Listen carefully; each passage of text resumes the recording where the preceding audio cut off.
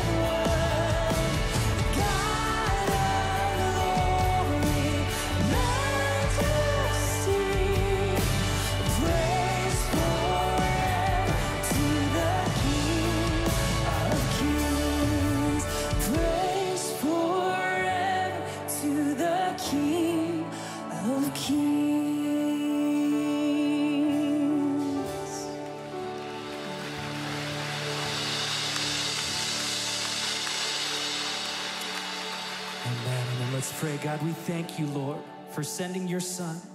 Lord, for redeeming this world, for redeeming our hearts.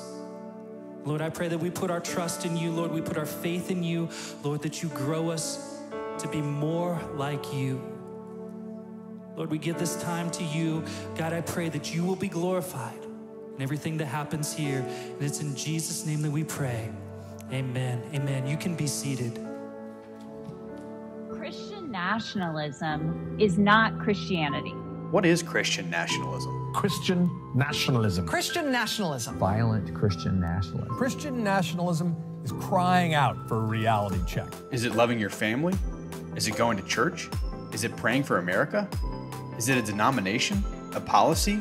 A political party? Christian nationalism. Christian nationalism. Christian nationalism. In their minds, they've been sort of put on earth by God to form this country into a certain kind of Christian country, whether the majority wants to or not. The rise of the term Christian nationalism. Where did it come from? And why is it being used?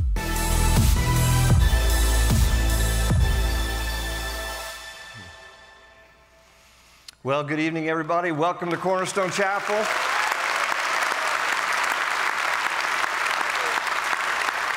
And welcome to our online viewers, too. I'm Gary Hamrick, the pastor here, along with one of my great friends, the president of Family Research Council, Tony Perkins. Everybody. Tony, good to have you with us. It is great to be back at Cornerstone for this Pray Vote Stand town hall meeting, Christian nationalism. Has anybody heard of that term? Well, tonight we're going to explore the origins of that term. Why is it being used? Is there a reason that we're hearing that every time we turn on the television? Anybody have any ideas? Yeah, uh, I don't think it's because they like you, Gary. Well, I think Or it's you. yeah, no, no, you didn't have to say that. You Well. hurt my feelings. sorry. Look, I, in fact, I was reading this morning in our journey through the Bible. We're in Second Chronicles chapter 20, and Jehoshaphat was being surrounded by this huge army, the overwhelming army. And I thought about where we are today in America. A lot of Christians are discouraged, and a lot of these terms are, as you'll see and hear tonight, are designed to discourage us and cause us to step back. And you know what Jehoshaphat said as he prayed? He said, You know, we have no power against such a vast multitude. Yeah. And we don't even know what to do. But our eyes are on you, Yeah. oh Lord. That's right. And, and I think what is at the heart of this, Pastor Gary, is that the world is trying to turn our eyes away from the source of our strength Yeah. and cause us to hide our faith in the Lord Jesus Christ. And I'm here to tell you tonight that as followers of Jesus Christ, no matter what label might be assigned to it, we can never back away from the source of our strength. Yeah, that's right. Well said. And, and in the process, um, there are people who are intentionally trying to intimidate the church. Yes. Intimidate Christians, make us think that we are the haters and the bigots, and you know, and so we, it's just an attempt to marginalize us. They want you to sit it out. They don't want you to be engaged. So this is, I hope, tonight going to be a time to just encourage you all and to just remind you that as followers of Jesus, it's okay to vote your values. It's okay to pray and ask the Lord because, you know, what does the Bible say? Blessed is the nation whose God is the Lord. So we love our country, but we love Him supremely. And so we just want to influence our country for the glory of God. Absolutely. So, our goal tonight, and by the way, for those that are joining us online, uh, if you're online, you'll see uh, some poll questions will come up, as well as a way for you to ask questions. And that goes for everyone here tonight. In just a, a little bit, I will put up a, co- a QR code on the screen, and you can take that and uh, put so get your phone ready not just yet but get it ready soon and that way you can ask questions it's going to be interactive tonight so after we hear from our speakers they're each going to give a, a short presentation and then we're going to have a panel discussion we're going to take your questions because our goal tonight is for you to be able to, to take what is happening around you understand why it's happening and how to respond to it because as pastor gary said we have a responsibility. I think in America, as Christians or as, as Americans, we have a right to vote. But as Christians, I believe we have a responsibility to vote right. and to vote biblical values. And I believe a lot of what is taking place is designed to suppress the vote of Christians. And so, what we have to do is overwhelm them at the polls by making sure we not only vote, but we register other Americans to vote legally in this country and to cast their Did votes. you have to say legally? Like, we're like, we're like living in a day where you have to say that. Well, Yeah. because there's some on the other side that don't Yeah, do it legally. that's right, but yeah. that's another town hall meeting. Yeah, yeah. So, Pastor Gary, why don't you uh, why don't you open us? It's pray, vote, stand, and so we're going to be praying tonight. But let's Yeah. start. We've worshipped the Lord. Now let's pray and commit this night to Him. Let's do that. Lord, we thank you for this time we can gather here in your house. And Lord, we just love you supremely. And we love our families. And we love our country. And we're just thankful to be American citizens of the greatest and freest country. And we just want to be good stewards of what you've entrusted to us. And we, we Lord, want to be encouraged because it is easy to become discouraged in our world today as we seem to be having to just kind of swim against the current. And so, Lord, strengthen our hearts tonight. We pray that you be glorified in all things. We pray for our nation. We pray for our for kings and all those in authority. So every elected leader, whether we voted for him or her or not, we pray for them, Lord. And we ask you to just be glorified in all that is said and done here tonight. And we're grateful in Jesus' name. And everybody said, Amen. Amen. Bef- Amen. Before I introduce our first speaker, can I just say I, I love your pastor here at Cornerstone. It's mutual, bro. You, you guys have a wonderful pastor. I am encouraged by his courage. And he's courageous in part because you stand with him. Now, he would be courageous even if he was standing alone, but I'm glad he's not alone. And he's got a, an entire church that's standing with him. Yeah. So thank you for praying Amen. for your Thank you. pastor, their family, and for standing firm for truth here at Cornerstone Chapel. We're Amen. grateful for you. Amen. Thank you, Tony. And you as well.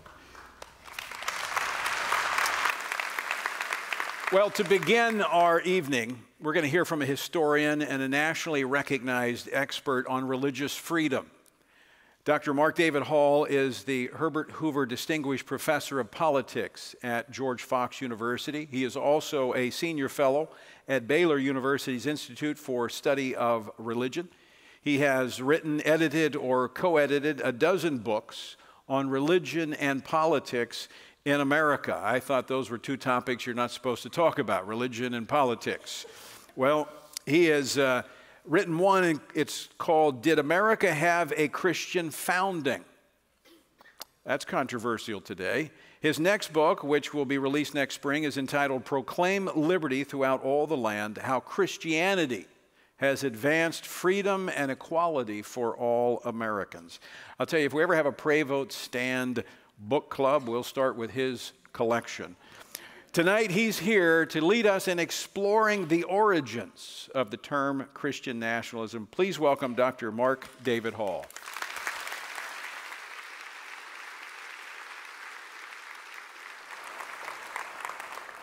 Well, thanks to the Family Research Council and the Robertson School of Government for hosting this event. I literally would have done it anywhere, but I was thrilled when I heard that it was going to be at Cornerstone Chapel. My um, brother-in-law and sister-in-law are members here, their family worships here, and we have thus worshiped here on multiple occasions and we've come to visit, and I just am always blessed by the musical worship. I love your pastor's preaching. You all have a great church, and thank you for hosting this tonight. So, if you look at the history of the term Christian nationalist, what you will find is prior to 2006, no one was using it. Not literally no one, but it was rarely used, and it wasn't used as it's used today. We should be clear about this. Christians were not running around calling themselves Christian nationalists. Christians were not saying we need to advocate for Christian nationalism. Christian nationalism came about really about 2006 as a term of criticism written by people that were highly critical of what they described as a toxic mix Americans who wanted to conflate God and country. But that's not all. They're racist, they're sexist, they're militarist. Think of almost every ism or ist that you don't like, and that is Christian nationalism. Now, these early books, a few were written by academics, uh, most were written by popular authors or activists or polemicists who work for places like the Freedom from Religion Foundation. That should maybe give a, a, a, hint as to where some of these are coming from. And they make some ridiculous arguments. I, I, I, document some of these, I'll just mention one now. Many of them attribute Christian nationalism to the work of an obscure Calvinist theologian, Rousas Rushdoony, whom almost no one has heard of, who influenced almost no one. Now, they like him because he does say he's a postmillennialist. He says the kingdom of God will advance, and when it advances, societies will become Christian and they will adopt biblical law. And in these societies, homosexuals will be put to death if they engage in homosexual activity. Men will dominate the church and the state. Um, incorrigible juvenile delinquents will be put to death, right? Drawing from Levitical, Levitical passages. And so this makes, that sounds really scary, right? Even for Christians, who would want to live in this sort of society? Well, one problem is it's pretty easy to document, and I do this in a publication that will be linked tonight. Really, no one follows Rushdoony. There are a few thinkers that are influenced by a little bit, but really not at all. So these are the, this is a flavor of arguments.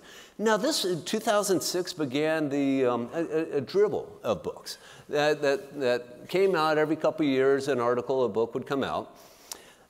Things escalated with the January 6, 2021 attack on the US Capitol building. This is, if you follow that at all, Christian nationalists have attacked the US Capitol building. I was flying um, back from a speaking engagement on January 6th, and I got a, um, a, a message from a reporter who wanted a, a comment on the Christian images uh, among the rioters at the Capitol riot. And I said, Well, I've been flying, send me some. She sent me about five images. Three of them were literally 1.5 miles from the US Capitol. There was a rally that day where Christians came together and prayed to overturn the results of the election, as is their constitutional right.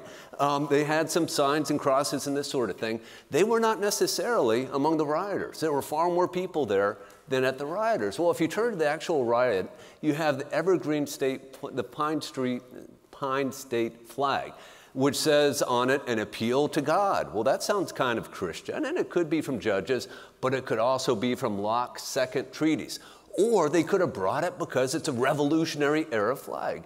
The only distinctively Christian photo that they had from the actual riot was a, a, a Goth holding a Bible in front of it in front of the rioters. And so I said to the reporter, you might want to be careful with this narrative. Uh, you really haven't sent me much by way of images.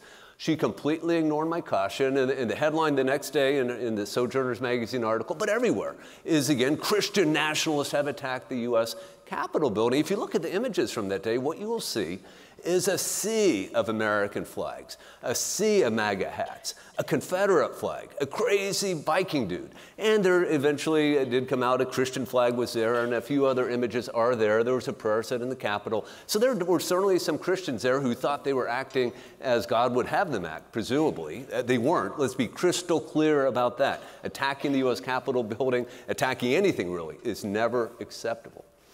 Well, since January 6th, and before that, uh, uh, uh, some more serious books have started to come out by academics, people like Andrew Whitehead, Samuel Perry, Phil uh, Gorski, Paul Miller, and others. Now, I take these to be scholars acting in good faith, attempting to measure the phenomenon of Christian nationalists.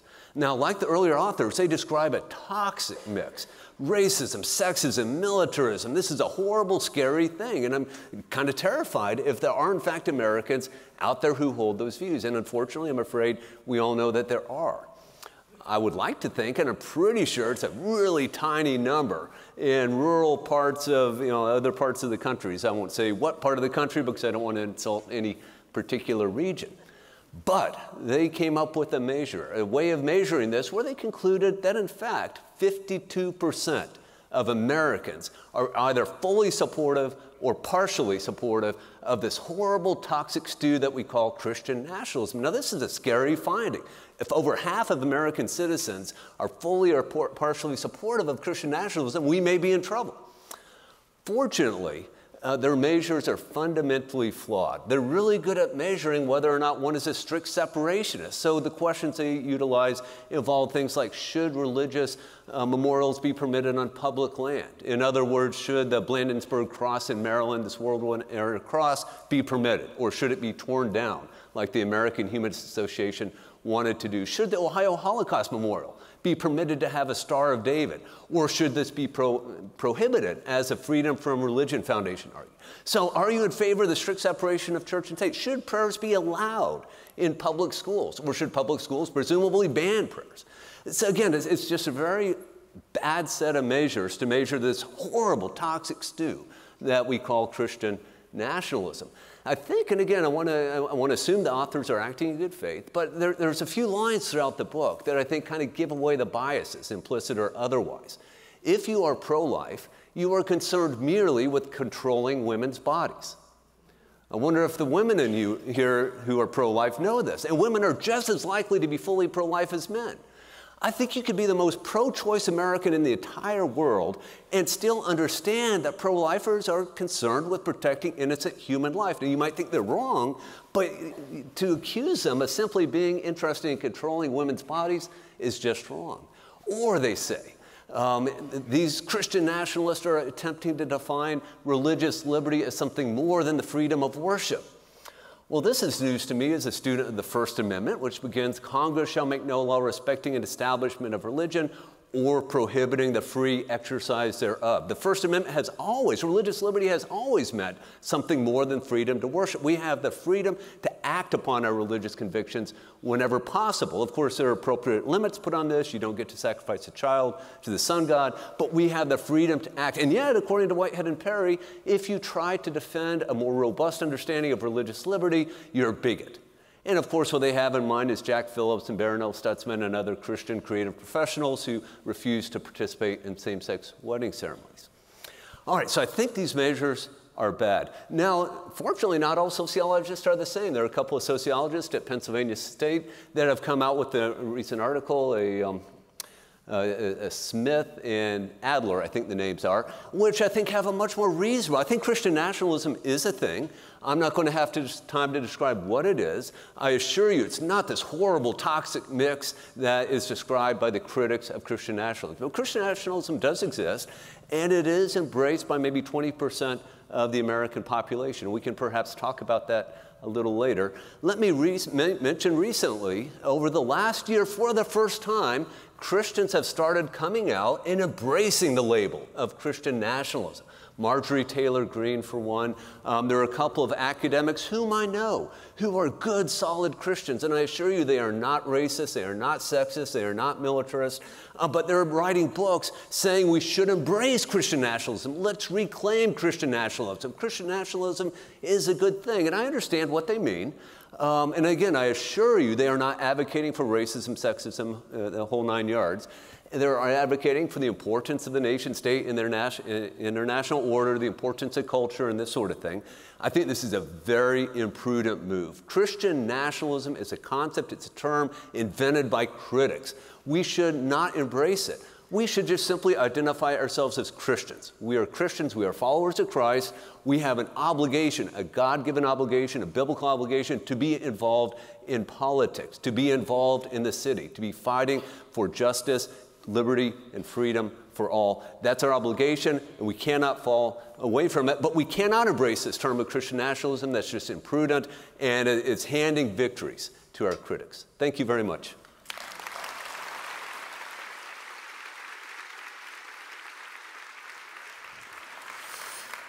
Thank you, Dr. Hall. And uh, now would be the time when you can take out your phone, if you would like, and we're going to have a poll question. And so you'll see a QR code that will be on the screen if you want to take a picture of that. And those of you online have the poll question there for you. Uh, so if we can pull that up on the, uh, the screen, there it is. So go ahead and take a shot, a snapshot of that with your phone, and that'll bring up the link, and you can take the poll question. So, everybody got that? All right, if anybody's having trouble, uh, we've got a, a group of five year olds in the back that can help you use your smartphone. All right, let's see. Can we bring the poll question up on the screen? All right, here it is. What is Christian nationalism? Not certain, but definitely not what the left says it is a creation of the media, an attempt to intimidate Christians who care about their country, or all of the above. So go ahead and take that poll question and uh, we will get the results and share those with you. So there's the poll question. Those online, go ahead and take that poll question, and it'll all be combined together. All right, to share with us about how the term Christian nationalism is being used is one of the most accomplished men you've probably never heard of. Stephen Coughlin is an attorney. He's a decorated intelligence officer and a specialist on issues as they relate to terrorism and subversion. In September of 2001, Stephen was mobilized with, from his private sector career and assigned to the Directorate for Intelligence with the Joint Chiefs of Staff. As a major in the United States Army Reserve, he was assigned to serve in intelligence and strategic communications. He has been recognized as the Pentagon's leading expert on Islamic law as it relates to national security. Today, he is principal of Unconstrained Analytics, which is a 501c3 dedicated to analysis of evidence unconstrained by preconceptions and biases. I'll repeat that. That's what the media used to do. Uh, it is, he is dedicated to the analysis of the evidence unconstrained by preconceptions and biases. Sounds like the perfect guy to unpack for us how words and labels can be and are being used for a particular end. Please welcome Stephen Coughlin.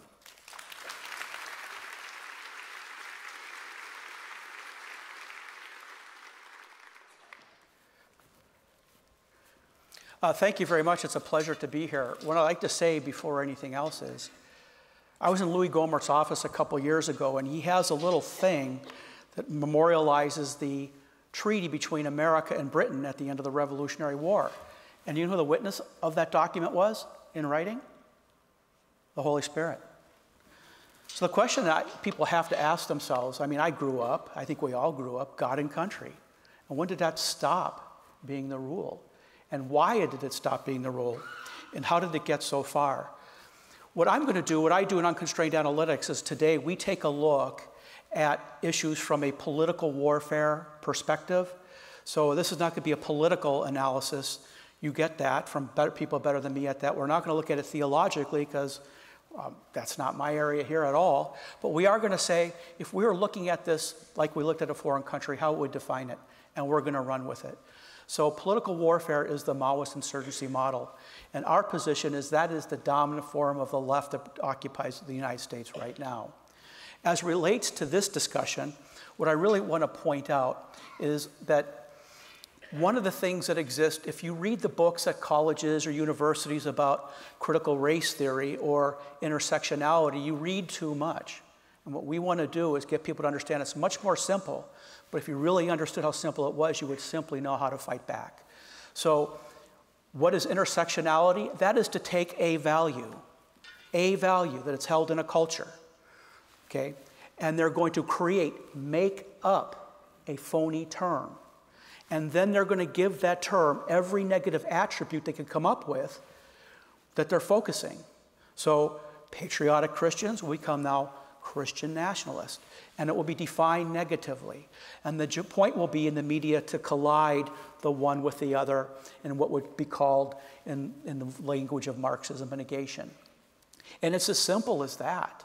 So, what they do is they create these intersectional lines of operation. Black Lives Matter. What does that do? It attacks on race. LGBT says that we demand that you accept our metaphysical claim of gender over the scientifically verified fact in biology of sex. That's what this is all about. And it's all about intimidating people. They don't care that they get their fellow travelers to say, you know, LGBTQ and let their children go to a litter box in a school. They have won in their mind when they got you to accept it by not doing anything about it. So, what I'm going to do is instead of over engineering all of this, I'm just going to take things that they have said, and I'm going to focus on Jemar Tisby and Bob Roberts because they're, they're some of the leading voices in this. And I want so you to know how they define it in their own words. Is that fair enough? Now, what I'm going to do is I'm going to just kind of go across the leading piece there, and when a percentage of the people here lift their heads up, we'll go to the next slide. Fair enough? So, Christian nationalism is an information campaign to not designed to synchronize with January 6 narratives, the January 6 narrative. Reading these Twitter feeds, three things will emerge. One, they say what they think, so you really don't have to assess what they're saying at this level of analysis. Two, they're broadcasting it openly through Twitter and in the media. We're seeing that. And three, the little political warfare point is they are so confident that they're in charge, they're engaging what's called open communication. They're not worried that you underheard what they said because they're reasonably confident that even if you understood what they said was not right, you're not going to know quite what they meant. So here's, here's that was, so here's one on um, Jemar Tisby, and I'll just let you read that. Has to do with January 6th.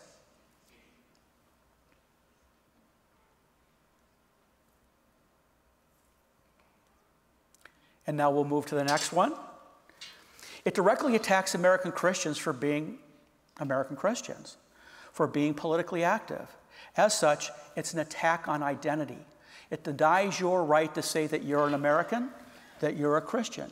Think about it. LGBT says you're not allowed to call yourself a woman if you're a woman, or a man if you're a man. When you add up all these intersectional lines of attack, they have destroyed your, your ability to call yourself a person. And that is the objective. So, Christian nationalism is also designed to synchronize with the New York Times 1619 Project. The objective?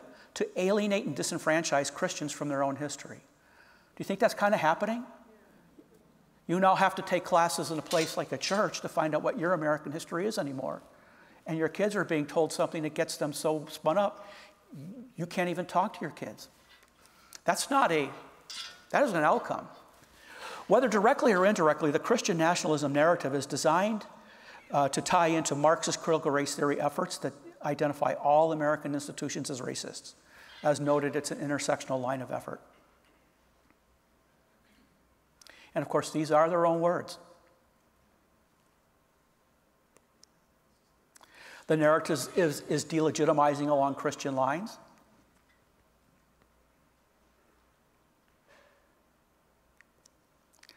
Reverend Roberts and his multi faith neighbors network has powerful international tie ins. Roberts likens American Christians to a grifting class of money changers at the temple.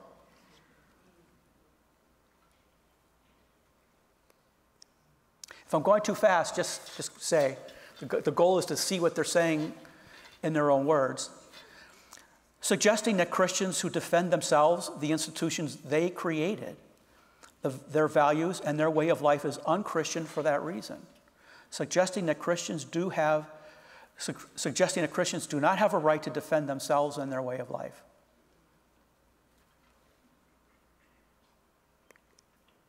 Implying maybe with cause that Republican leadership is just as anxious and alienated from its own base as is the left.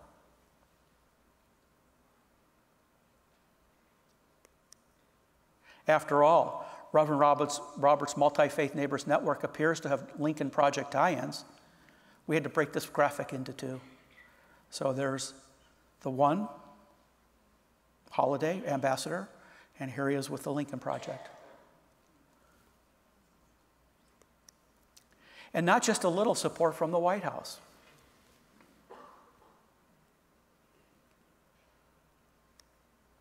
For Tisby, the people who created the American Republic are America's greatest threat to America's republic, precisely because they don't want to make it a democratic, by which I mean Marxist, republic.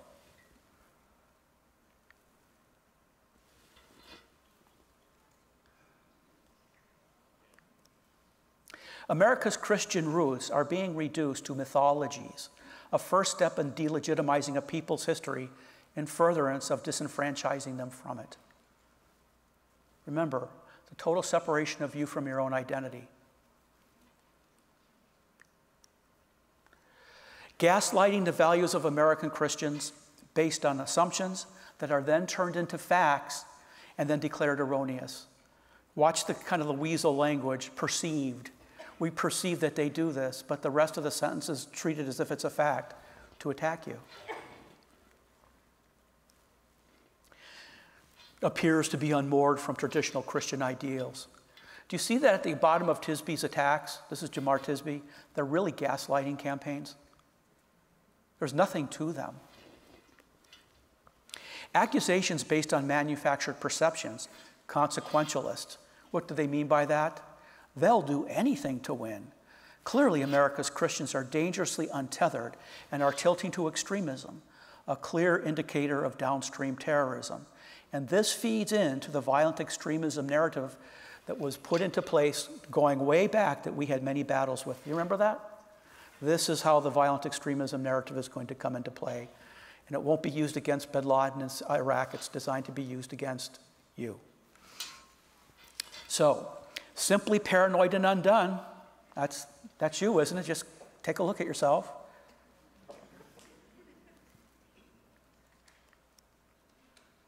When Christians mobilize politically to defend their constitutionally protected way of life, it's described in covert conspiratorial terms.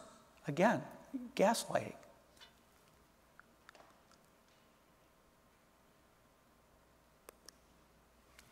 And lest the gaslighting campaign is not clear enough, beneath every Christian nationalist is a seething racist seeking to seek revenge upon an unsuspecting population. I had to break this in two so you see that Tisby's message was about a little child who, you know, wants to grow up and, and shoot people. Of course, that's just the message. I just think it's really important for you to get a sense for how these people communicate this in their own words so you can get a feel for it because it's a little slick. You can easily say, Well, I was only talking about perceptions. Maybe I'll change my mind. And what he's really saying is, I'm going to have to up my game. And with that, I would like to, I would like to thank everybody for your time, and I hope this was helpful.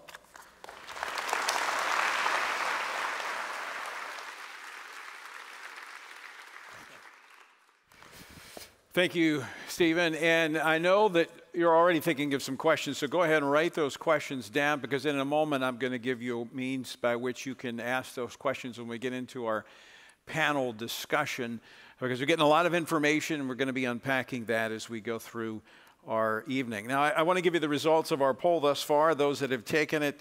Uh, in terms of our question, what is Christian nationalism? 74% say it's all of the above. 19% said it's an attempt to intimidate Christians who care about their country. 3% not certain, but definitely not what the left says it is. Uh, you're always safe saying that. It's never what the left says it is. And 3% said it is a creation of the media. Now, in just a moment, I'm going to introduce our next speaker, and we're building up to this understanding why is this happening? There is an outcome that they want, but I'm going to get a jump on it because I want to challenge you to take the Pray Vote Stand pledge. The pledge to pray, to pray for our nation, to pray for the upcoming elections.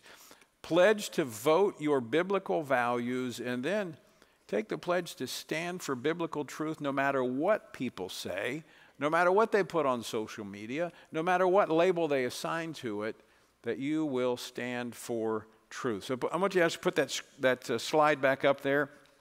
All you need to do is text the word pledge to 67742 and take the pledge to pray, vote, and stand. And so, for those of you joining us online, you can do the same. Text the word pledge to 67742. Pledge to pray for our nation, the upcoming elections, to vote your biblical values, and to stand for biblical truth. Well, the Family Research Council is blessed to have an incredible board of directors led by our chairwoman, Michele Bachmann. In addition to being a former congresswoman and presidential candidate, uh, Michele is a genuine prayer warrior, intensely committed to interceding for our nation and for our leaders. And last year, she took on a new assignment as the dean at Regent University's Robertson School of Government. And uh, we're grateful here at the Family Research Council and Cornerstone Chapel for the opportunity to partner tonight with Regent uh, for this special town hall event. Uh, Regent is a, an incredibly uh, is an incredible educational institution, and I'm very thankful that they, under Michele's leadership, are dedicated to uh, pursuing clarity and intellectual honesty in uh, these issues that challenge us today. To help shine the light on the political intentions behind the term Christian nationalism, please welcome to the stage Michele Bachmann.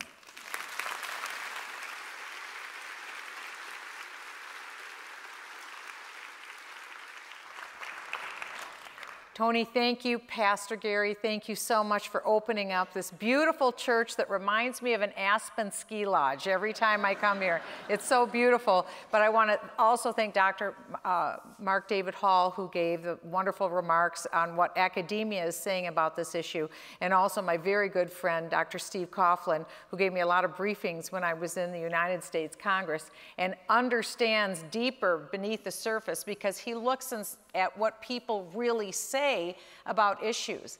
The reason why we're here tonight is because some of us had noticed that there was something happening in the culture, and it was aimed at all of you. It was aimed at the church, it was aimed at pastors. And it was aimed at the church because the church has been doing something right. And believers have been doing something right. Pastors, like the pastor of this church, has taken on the whole counsel of God and preaches the whole counsel of God freely and bravely from the pulpit. That's right. We want to see more of that. And that means the issues of the day in our own culture, whatever culture we live in. The Bible has something to say about every issue in every culture. And this church has not been afraid, together with other pastors in other churches, prior to elections or before elections or with no thought of elections, they've been trying to preach what the Word of God says. This is a good thing. Too many pastors have been frightened into silence. They maybe didn't have a board of directors that would back them. They maybe thought their congregants wouldn't like it if they talked about the issues of the day. But when we do that, when the church goes silent, bad things happen. Bad things happened in the 1930s when the church in Europe went silent. When that church went silent, it took a very young theologian named Bonhoeffer who saw what was happening in his own nation in Germany and he had to stand up within the Lutheran church and stand for what is true and against the scapegoating that was coming against one particular group of people, the Jewish people in Germany. Ultimately, Bonhoeffer paid for his advocacy with his life, which he happily did. Happily, I say, because he wanted to be obedient before God because he saw in his culture, he gave some of the most astounding messages to the clergy of his day, telling them, Don't go silent, wake up. Otherwise, bad things are going to happen in Germany and in Europe. And as we all know, the lights went out in Europe. Europe has never been the same since World War I and World War II because the church went silent. You see, it's highly consequential when the Word of God is pervasive in a nation, like Pastor Gary said. That nation is blessed whose God is the Lord. When we preach that whole counsel, when the people know, my people perish for lack of knowledge. And what does a godly pastor do? What does a godly church do? They inform the faithful and they inspire the faithful to bring biblical values into their own lives, into their family's life, into their business's life, into their community's life, into the political life of the nation. And that is how a nation can, have, uh, can be a nation that serves the Lord because it understands the Lord. It isn't just behind these beautiful church doors. It's not meant for just behind these, be these beautiful church doors. The values of the church are meant for the community, for the nation, for the public, for those who don't yet know or understand that there is a loving God who has a plan for every person on this planet. That is why the church preaches.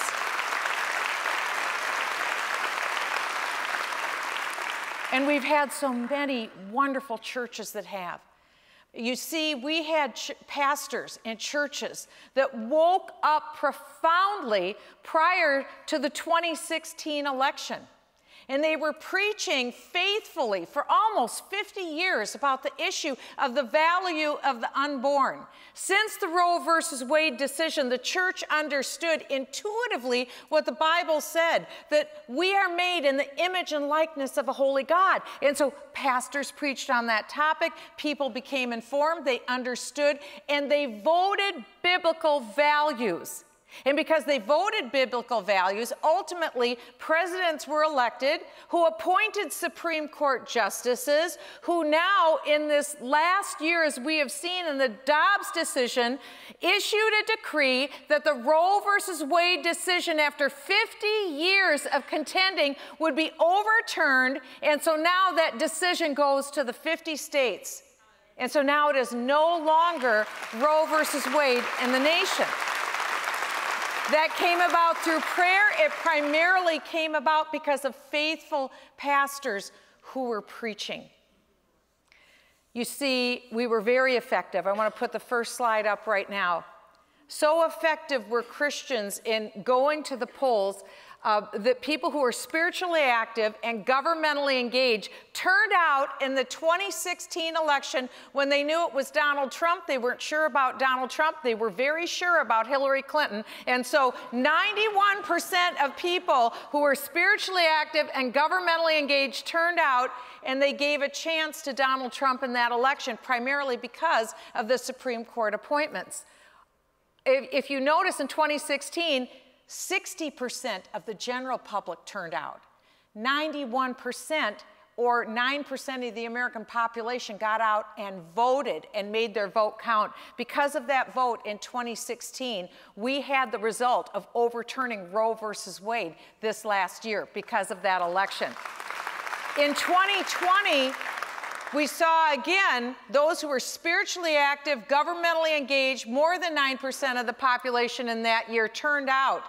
99% of those who are spiritually active, governmentally engaged, turned out and voted. And of that amount, 97% voted for Donald Trump. His vote totals went up with those who, who were spiritually active, governmentally engaged, and the national turnout was 67%.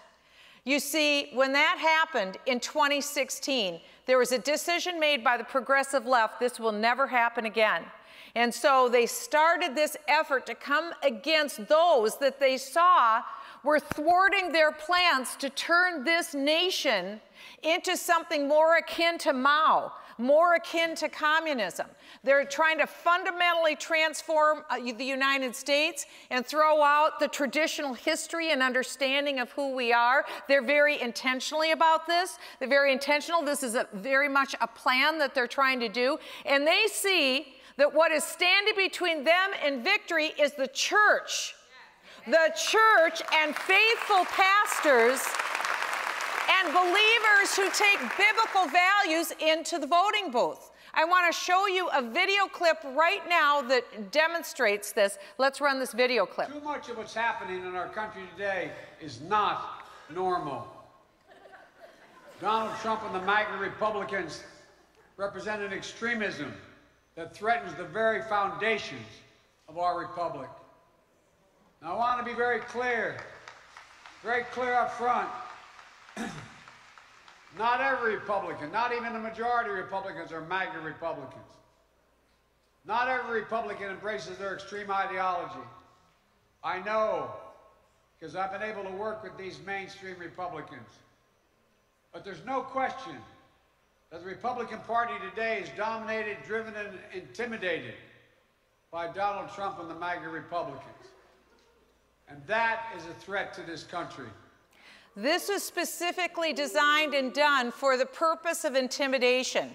The stage lighting, the Marines that are stationed there, this is per, per, per, um, explicitly done to show intimidation, to use the words extremism, the epicenter of that is Christian nationalism, saying that we don't think it's good that you're for your nation. We don't think it's good that you're for God. Very bizarre, but we're the ones that are called extremists. Next clip. And here, in my view, is what is true. MAGA Republicans do not respect the Constitution. They do not believe in the rule of law. They do not recognize the will of the people. They refuse to accept the results of a free election. And they're working right now, as I speak, in state after state, to give power to decide elections in America to partisans and cronies, empowering election deniers to undermine democracy itself. MAGA forces are determined to take this country backwards, backwards to an America where there is no right to choose, no right to privacy, no right to contraception, no right to marry who you love. They promote authoritarian leaders and they fan the flames of political violence that are a threat to our personal rights, to the pursuit of justice, to the rule of law, to the very soul of this country. If you stand for natural marriage, you're an extremist, according to the president. If you stand for biological truth, you're an extremist to the president. And if you stand for the rights of the unborn, you're an extremist to the president. So it's a mental jujitsu that they're trying to do. They're trying to exchange what extremism is and make those of us who believe in biblical values the extremists. One more clip, and then we'll move on. Michael Luttig has called Trump and the extreme MAGA Republicans, quote, a clear and present danger to our democracy. But while the threat to American democracy is real, I want to say as clearly as we can, we are not powerless in the face of these threats. We are not bystanders in this ongoing attack on democracy. There are far more Americans, far more Americans, from every, from every background and belief, who reject the extreme MAGA ideology than those that accept it. So, do you see the scapegoating that's going on?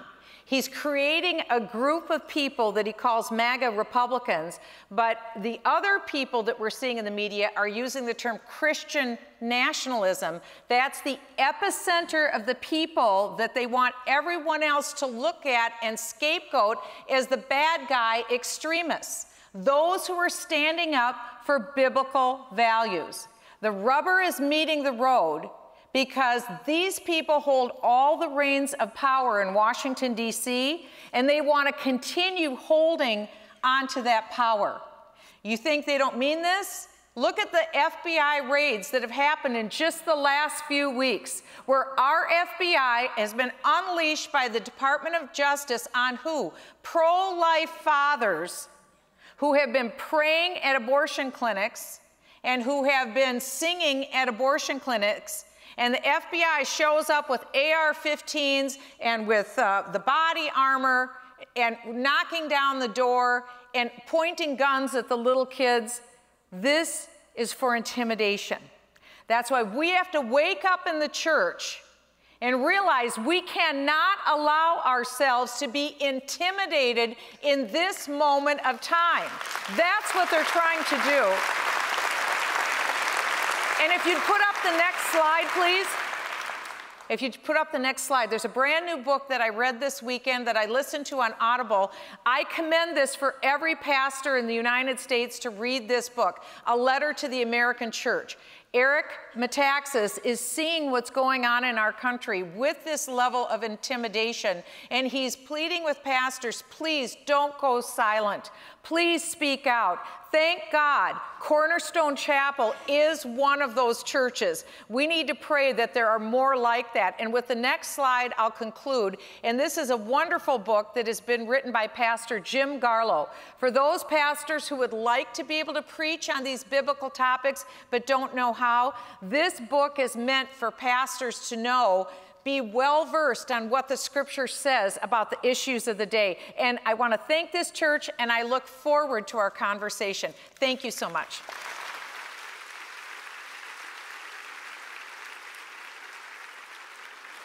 Thank you, Michele. All right, any questions? well, that's why we're here. It's a town hall meeting. By the way, how many are going to make a commitment that I will not be intimidated.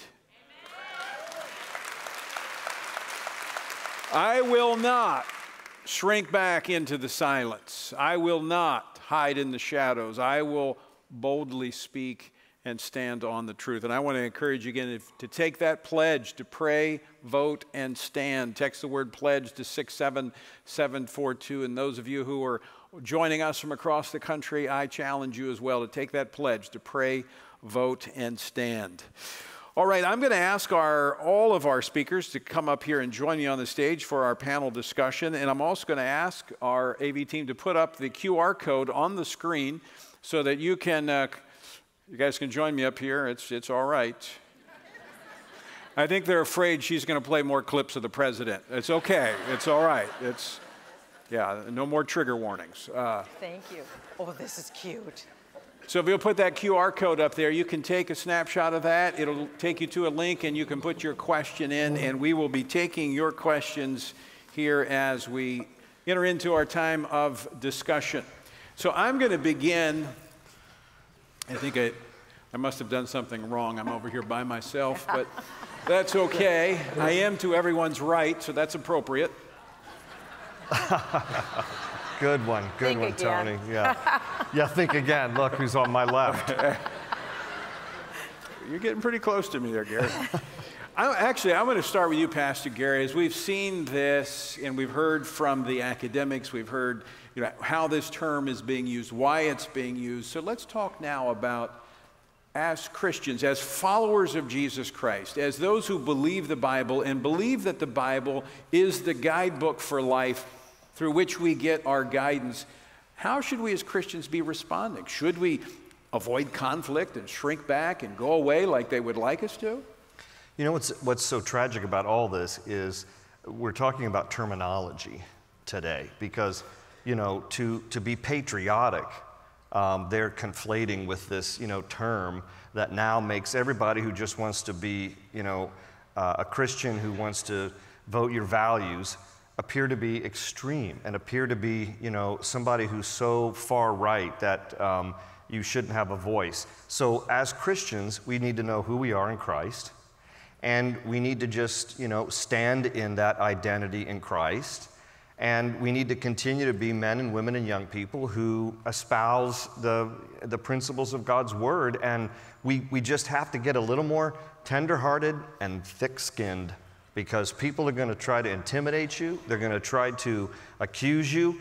But you know, Jesus said, "Blessed are you when men, you know, despise you, accuse you, say all manner of evil against you uh, uh, for my name's sake. For great is your reward in heaven." So we have to keep that focus and remember that we're serving the Lord, and what people say, let them say it. But we want to ultimately glorify Him. We- We have no other option. Yeah. Can I, can I just add one thing real quickly? Because there's a clip that Michele didn't play that struck me because I watched it live when, when the president gave that speech. And at the very end, he talked about the soul of America. Yeah, He mentioned the soul of America. And it reminded me of, and some are going to lambaste me for how dare you compare, but I'm just saying historically, Hitler talked about the soul of Germany. And um, in, in the early 1940s, Hitler gathered the clergy in Berlin and he told them about how, with, with him in charge, their, their uh, subsidies would stay intact because you know, they were state churches. And Bonhoeffer was one who stepped forward and said, uh, Herr Hitler, we're not concerned for the church because Jesus Christ will take care of her, of her church of, uh, of the church. What we are concerned about is the soul of Germany. And th- that's when Hitler said, I will take care of the soul of Germany. It's the, it's, it's the right and privilege and duty and responsibility and honor of the Church of Jesus Christ to take care of the soul of America in the sense that we have the gospel, which is the only good news that heals the soul of America or any country.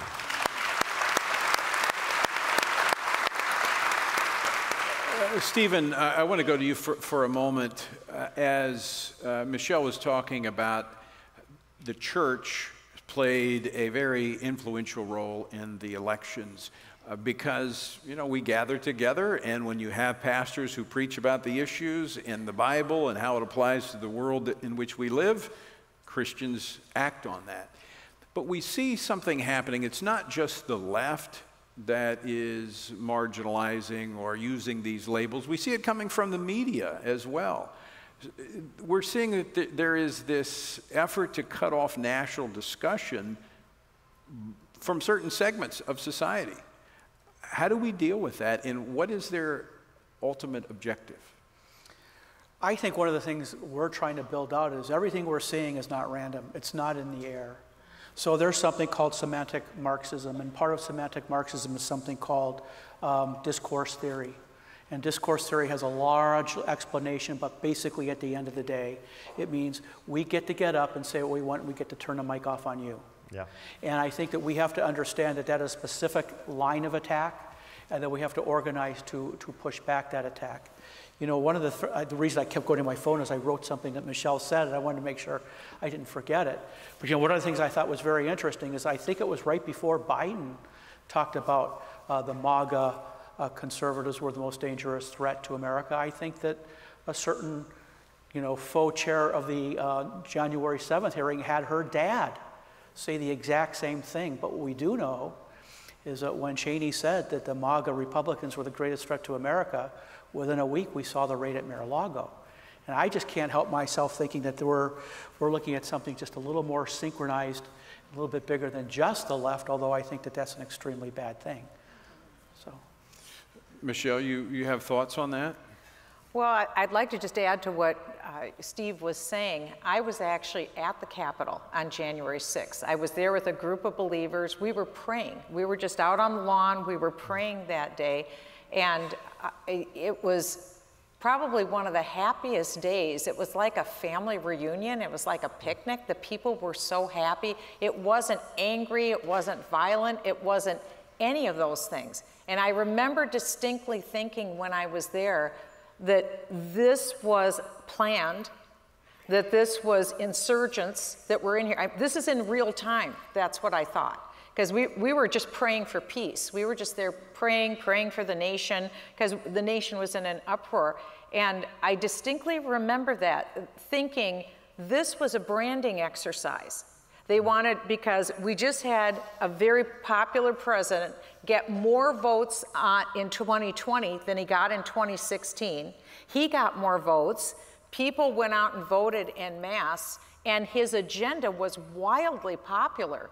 You know, gasoline was $1.89 a gallon. That was pretty popular. Hmm. So, yes. So, so this was a rebranding exercise to label the president himself a terrorist or an insurrectionist. It was meant to label his followers or supporters as insurrectionists and the Make America Great Again agenda as a terrorist agenda.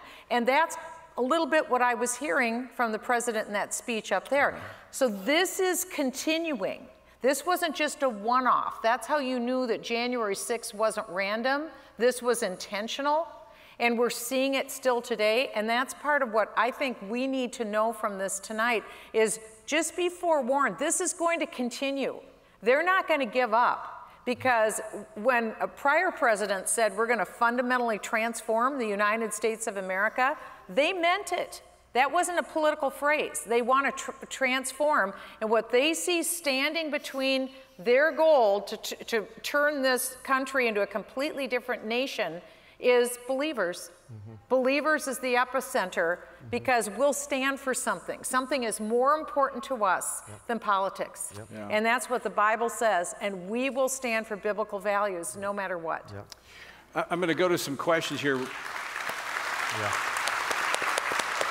I'm going to go to some of our questions from those that are participating in the hall. But first, I, I, uh, Dr. Hall, I, uh, I guess I want to make a confession of my activity on January the 6th. I was in the office with Secretary of State Mike Pompeo with a group of pastors, and we were praying for the nation. Would that fit the definition of what the left is calling Christian nationalism today? You know, it, it, might fit some definitions. I, am not sure it exactly fits more academic definitions, but let me, this is a good thing to distinguish, I think, right? Um, I love what Michele said. As Christians, we have an obligation to bring our faith into the public square, but it starts with us, right? It starts with being biblically moral ourselves. It starts with our family. It starts with voluntarily sharing the gospel. It starts with prayer, with praying for the nation, whether with Mike Pompeo or a local Bible study. What it does not involve is having the federal government force people to become Christians. And that's what the critics of Christian nationalism would say Christian nationalist won. And I know almost no Christian, I'm sure you could find some out there that think the federal government should make Christianity the official established religion of the United States and punish people who don't follow Christianity, but they're precious few. Certainly it's not 52% of the American population. So no praying for the president, praying for the country, is not by any meaningful sense Christian nationalism. But they are stretching that term to suggest that any, anyone bringing faith into the public square is advocating for Christian nationalism. It may not be the historic definition, but it's certainly how they're using it. All right, I'm going to go to some of these questions, and, and Pastor Gary, get ready because most of them are for you. Oh, great. First one is why are you not wearing a tie? Uh, well, well, first of all, Michele isn't either. Oh, okay. and uh, and we and, still distinguish between the sexes, though, here. Okay. Yes, we do. I'm the only sensible one. That's all right. why. Okay. All right. Moving right along. How do we lovingly challenge pastors who we observe are shrinking back from important and what some would call polarizing social issues? You know, I, I, I get this question often, um, sadly, and uh, I don't know how to lovingly do that. That, you know, that was the key word in your question. How do you lovingly do that? Um, you know, I'm not, I'm not so sure Jesus was loving when he called the Pharisees, you brood of vipers, you hypocrites, you whitewashed tombs. I think he was smiling, though. When he well, he might have said it with a smile. but um, I think it's just time that they need to get called out, and I think it's going to take some courageous people to call them out. I, I might I might add to that is that if you have a, a, pastor and you've prayed for him, and I would suggest you pray for him first, then you talk with him, and then if they continue to avoid the, the issues of our day in terms of applying scripture, then you need to find a church that preaches the whole counsel of God. Yeah, that's right. But, but also, they can buy Eric Metaxas' book and buy the audible version of it. And by the way, uh, I've been texting with him this week, so he's coming. We're trying to work out a date in November, but he's going to actually come. We're going to bring so that good. It is Yeah. such a good book for pastors. It's Yeah. good for us, but it's really good for pastors Yeah. to give them the, cur- the courage why they should do it. Okay, I'm going to throw this one out here for any of our panelists that would like to uh, handle this one. How do we handle our adult children who are so swayed by this woke agenda? Great question. All right, do you want to answer it? who wants to take that one? Do you have a Well, I, I would, I would say I have five kids, and none of them are swayed by the woke Yeah. agenda. Yeah. So I- I'm extreme. It Yeah. started in the I think it- it- it cradle. in the cradle. Train them up as they are young. That's right. And I, and I do think, look, by the way, I, th- there's a lot of truth in that. A worldview is formed between 13 months and 13 years. And so, as parents, we need to be intentional about teaching our children not Bible stories, but biblical truths. Why do you think the left wants early childhood education? Amen. That's they right. want to give them this woke, liberal ideology, this worldview that would steer them away from truth. And so, we've got to be intentional uh, about that.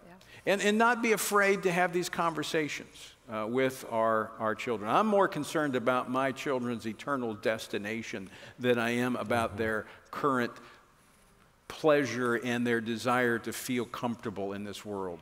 And I think we need to be challenging our children just as we would challenge our pastors to, to live by and speak the truth. If I am called a Christian nationalist, how should I respond? Um, Dr. Hall, I'll give that one to you. I think a good approach would be to say, What do you mean by a Christian nationalist? And if someone's accusing you of that, they might say things like, Well, that means you're a racist, you're sexist, you're, you're a militarist.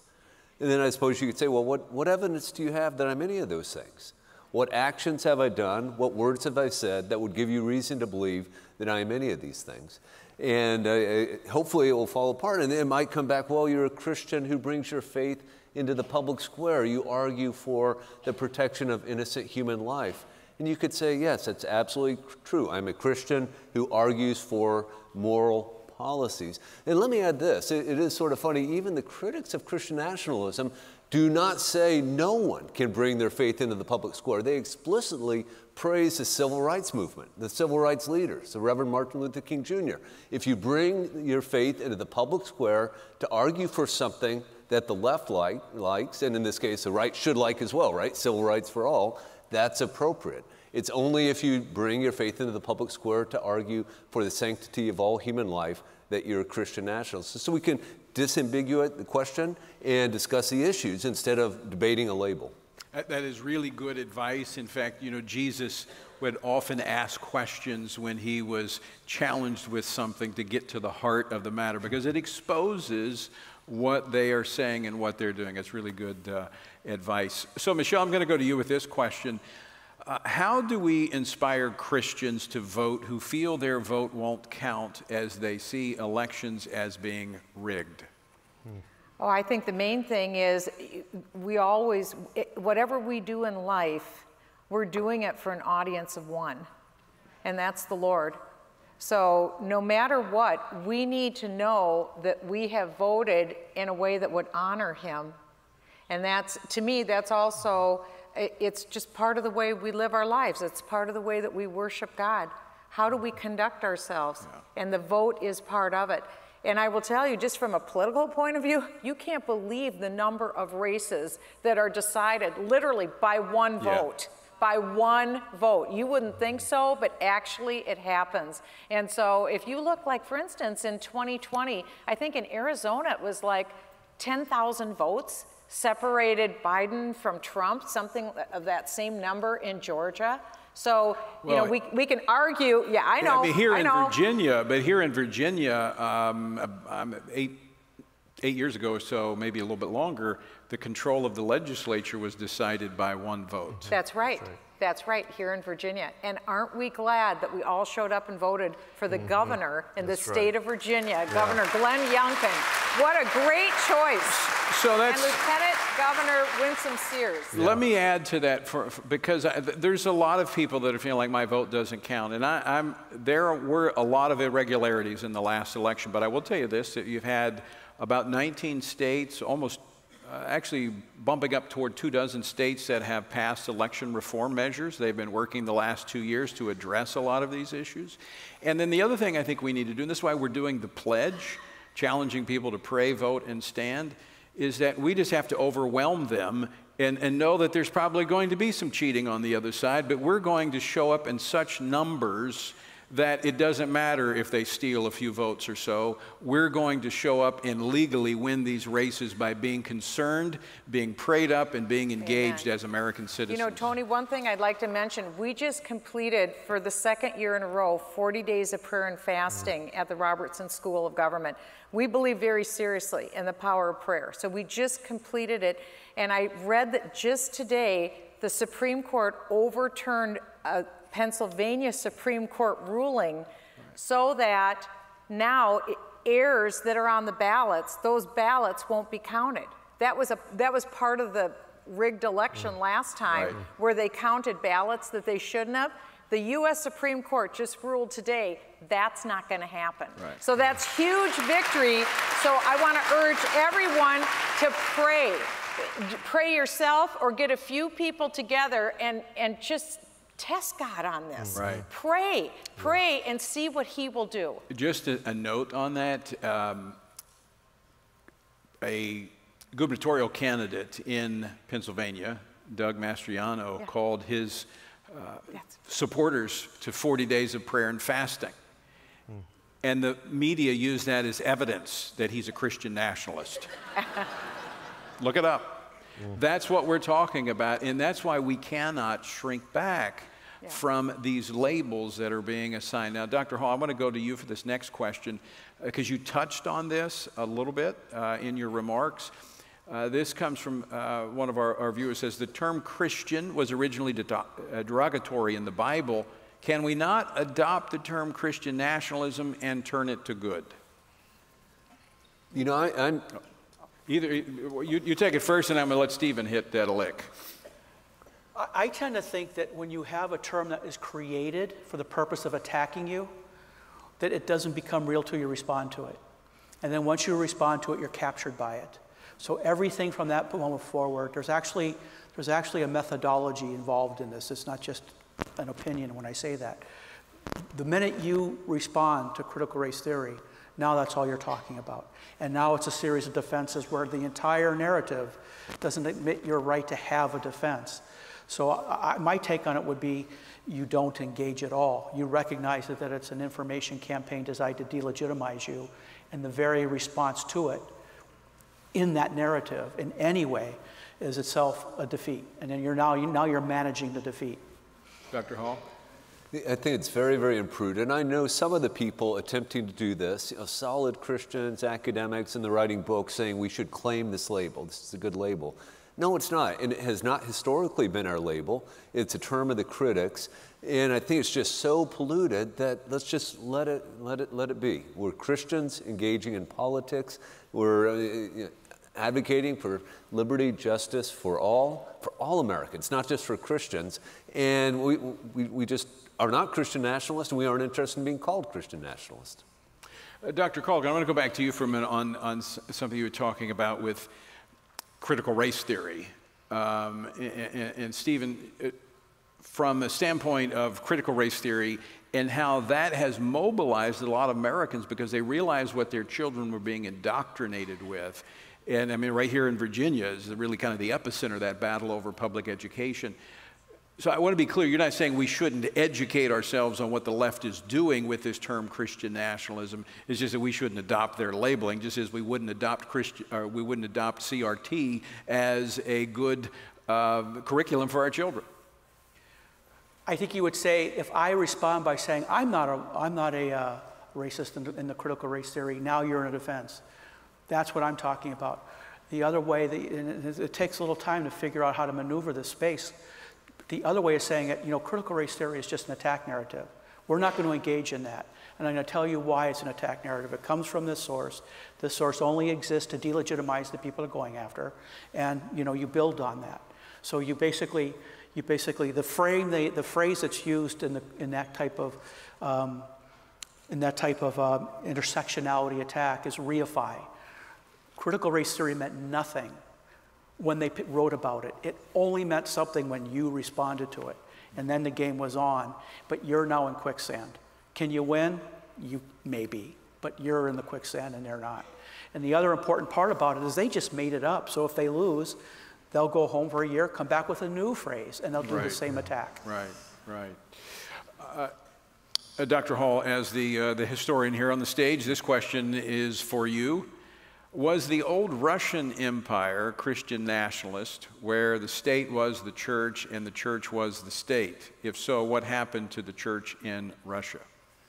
You know, this is a fascinating question. I'm actually going to be involved in a couple of panels in Washington, D.C. over the next couple months with the Mercatus Center, the Institute on Religion and Democracy, where we're inviting scholars from places like Hungary and Poland, um, the Czech Republic, England, France, to talk about Christian nationalism in those countries. Is it similar to what we have in America?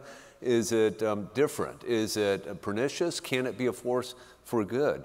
I, um, I, I have to admit, I'm kind of skeptical that it can be a force for good. I think, especially given the history of the term over the last, what, 12 or more years, 15, 16 years, where it's only been used, until very recently, it's only been used as something critical of Christians who bring their faith into the public square. I'm not very optimistic, but I'm very interested in learning more. My sense is in Russia, you do have a, a very dangerous conflation of church and state and in a way that is very entirely unhealthy. I think we've all seen the Russian Orthodox ministers blessing the Russian war machine as it goes into, into combat. And yeah, that, that, that, sort of thing is very troubling, and I hope it's troubling to all of us. Right. Yeah, I think we want to be very clear, and I think I can speak for all of us. We're talking about being Christians in America. Our first allegiance is the kingdom of God, but we're proud to be Americans. I'm grateful that I live in a country where we have freedom. And I've served our country, and I know many in here have served our nation and our military and our law enforcement, and that's nothing to be ashamed of we want the separation of church and state. We don't want the state meddling in the church's business, which is where that origin of that phrase came from. but we're not going to shrink back about bringing our faith in engaging the public square. We cannot check our faith at the door. It's who we are. And I think that ultimately is what the left desires for us to do is to disengage and to allow their values to dominate the discussion. I want to thank you all for being here. We've got many questions, but we're going to bring our time to a close tonight. And as we do, I'm going to ask each of our panelists just a, a parting thought as we conclude this evening. And, and then we're going to close our time in prayer. I'm going to end, uh, uh, begin with you, uh, Michele, if you'd give us uh, kind of your parting thoughts. Well, Christian nationalism is a pejorative term, a negative term. We need to understand that, but we also need to know that they're very specific. They're going after pastors to encourage pastors don't have 4th of July services, don't honor and recognize veterans don't have things about America or America's founding in your country. This is happening at pastors' conferences, in different seminaries. So this is happening right now. That's why pastors need encouragement from congregants. It's why I'm recommending Eric Metaxas' book and Pastor Jim Garlow's book. We need to encourage our pastors to realize America has a wonderful history, a unique godly history. We need to be proud of it and share that with the next generation. Yeah. Yeah. Stephen? I think what, what we're living in a, a, state of the state we're living in right now is the, the phrase is liquefied reality. There's been an entirely enormous effort to get you to be confused about everything. And in that, in that state of being confused by everything, the Marxists call that demo, a demoralization campaign. And people feel demoralized. But it's only a perception, and you're allowing it to, you're allowing that to govern how you feel. Uh, I think that um, Christian nationalism is an attack on your identity.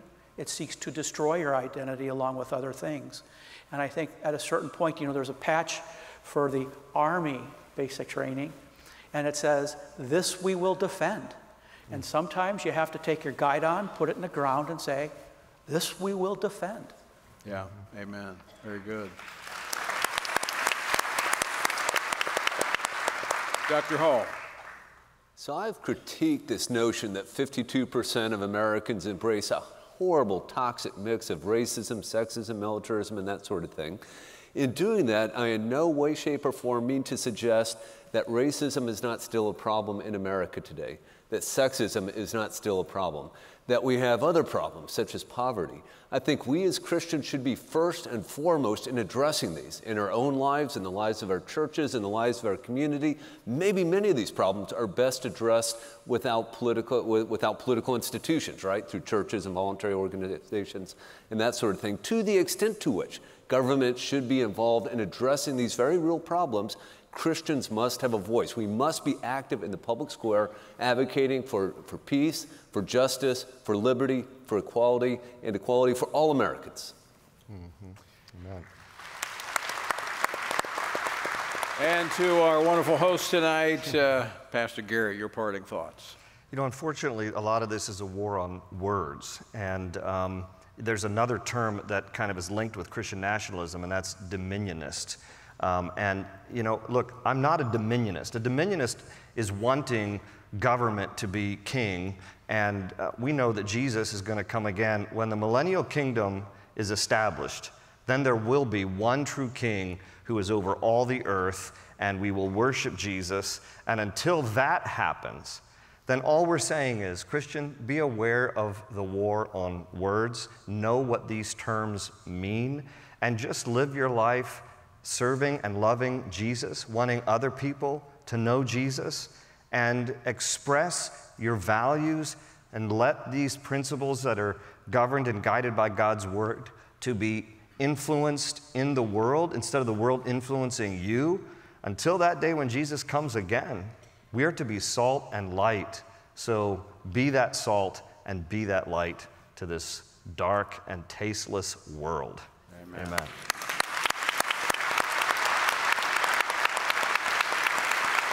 Well, when he is king of kings, there will be no elections and there'll be no ballot stuffing. So it will, it yeah. is a done deal. He will be king of kings and the Lord of lords. Yeah. I want to thank each of you for being a part of this tonight, and I want to thank Regent University. Michele, thank you. Uh, Pastor Gary, thank you for hosting us here at Cornerstone. Stephen, Dr. Hall, thank you for being here tonight. And I want to thank all of you who have joined us online across the nation. And thank you for being here tonight at Cornerstone and being a wonderful, wonderful town hall uh, gathering for us to discuss what I think is an extremely important issue knowing how we should address it as we go forward. Let's close our time together in prayer. If you would, let's stand together. And let's go to the Lord, our Savior. Father, we thank you for our time here together tonight. And Lord, I pray that there would be a resolve that would come across your people. That, Lord, we would not in any form or fashion deny you, but we would live our lives in such a way that we would impact the world around us with your truth and with your love. Lord, I pray that you would guard our hearts against any anger or bitterness toward those who would attack and assign labels and try to drive us from our citizenship and our participation in this country. May we love them as you have commanded us to do. But loving them does not mean we affirm what they do. Lord, we love them because they are created in your image and they're worthy of love because they bear your image. But Lord, we do pray for revival in the church in America and an awakening in our culture and a return to truth. And we pray that America would again be a nation that is blessed by you because we obey you. And we pray and ask this in Jesus' name. Amen. Amen. Good night, everyone.